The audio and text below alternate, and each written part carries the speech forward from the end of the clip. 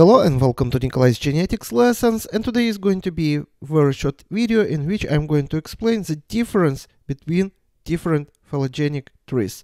And you see here three phylogenetic trees which show relationship between these species.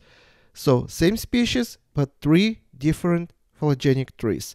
So what do axes of a different phylogenetic trees represent here? For example, in cladogram nothing on the y-axis and nothing on the x-axis. From cladogram, we only can see the relationship between different species. For example, we can say that species A and B are more closely related, for example, than species C and B. So we only can see here relationship and how different species relate to each other. Now let's compare with ultrametric tree. Again, on the y-axis or vertical axis, nothing, but this time on the x-axis, this length of the species branches represent time.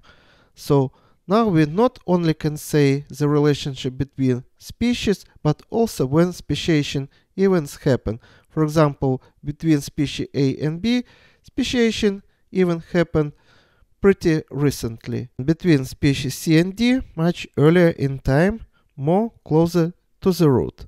So ultrametric tree is more informative than just cladogram. And for example, if we put E species E here, that means that this species extinct because in ultrametric tree, this H would represent present. Now compare with additive tree and don't think that only species E survived here. Just like in all the rest phylogenetic trees, here on the y-axis, basically this axis stands for nothing, but x-axis here stands for the amount of change, usually in DNA. So as you see, species E accumulated most changes here and for example species A and B since speciation even accumulated different amount of DNA change. So looking at this tree we can say relationship between species just like in cladogram but also we can say how much DNA change each species accumulated since speciation event.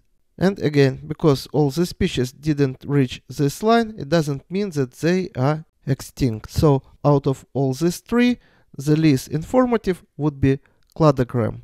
And additive tree and ultrametric tree would give us much more information about the species, about time since speciation event, and about amount of change in DNA.